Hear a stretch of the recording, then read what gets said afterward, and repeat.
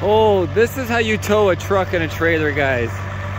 A low boy, probably. Look at this. I've never seen this before.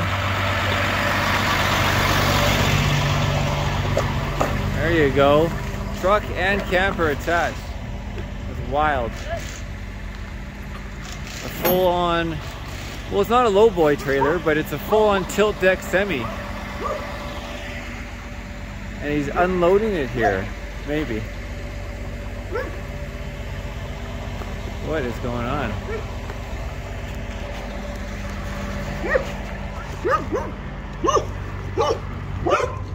Oh boy. They really don't like me, huh? They're not gonna do. Is, it, is this is your guys'? Did you bring it here on the truck? No. You're taking it away We got no. We're bringing it here.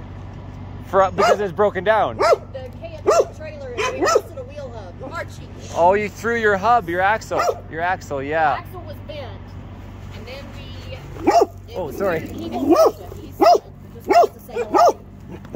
He's not gonna hurt you. Should I touch him? Yeah, yeah, you're fine. He won't hurt you. Oh, yeah. He, he does better when somebody pays attention to him. Yeah. So you need to, you got, you're on three wheels right now or? No, it's we we've got a guy that's hopefully coming to repair it.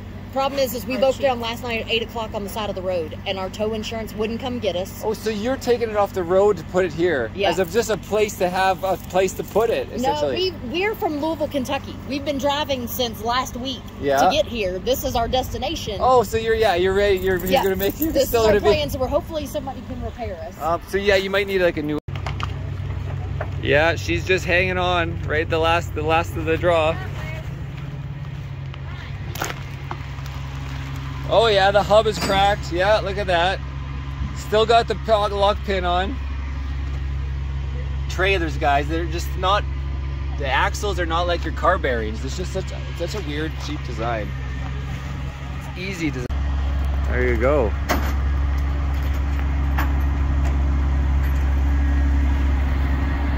What length is the bed on this thing? 50? I'd say 45. Oh, so that's a little shorter than a yeah the full length. Just fit, huh?